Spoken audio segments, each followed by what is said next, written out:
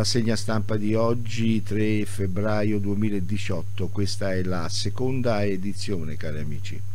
Vi ricordo che la rassegna stampa è edita da RST Saiuz e Pianeta Oggi TV. Macerata spara agli immigrati dall'auto, sei feriti, fermato, avvolto nel tricolore e fatto il saluto romano. Nel 2017 fu candidato dalla Lega e caccia un complice. Ha aperto il fuoco in diverse zone di Macerata, gettando nel panico la città per oltre due ore.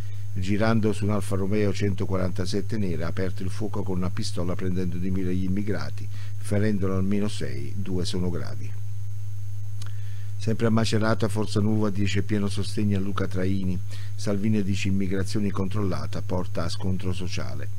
Mentre i leader di Fratelli d'Italia e Lega vedono in quanto accaduto le conseguenze delle politiche sbagliate del centro-sinistra, lo scrittore Roberto Saviano dice il leader del Carroccio, il mandante morale.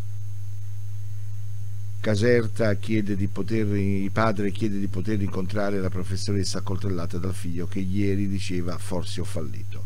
La docente ha riportato una profonda ferita alla guancia sinistra, ma è stata dimessa sabato mattina dall'ospedale con 32 punti di sutura e secondo quanto riferisce il mattino alla direttrice scolastica Giuseppe Maria Scambata, Caldo ha detto non faccio del male a quel ragazzo, ma donna mia non ce l'ho fatta a cambiarlo. Livorno, appello delle associazioni cittadine per la mediazione contro la privatizzazione del porto Medicio. La petizione su change.org. Ciò che preoccupa una cittadinanza attiva e politicamente sensibile è la sostituzione di un uso plurale di un bene pubblico con un uso individuale. Trump rilancia gli armamenti nucleari, via l'espansione del nostro arsenale e individua gli antagonisti in Cina e Russia. Si tratta del primo aggiornamento che Washington apporta dal 2010 alla sua politica sulle armi nucleari.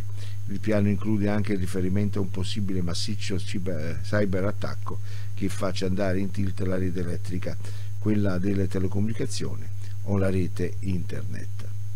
Bene cari amici con questo è tutto, vi diamo appuntamento alla prossima rassegna stampa, vi ricordo che la rassegna stampa è edita da RST Science e Pianeta Oggi TV. Buon proseguimento con la programmazione.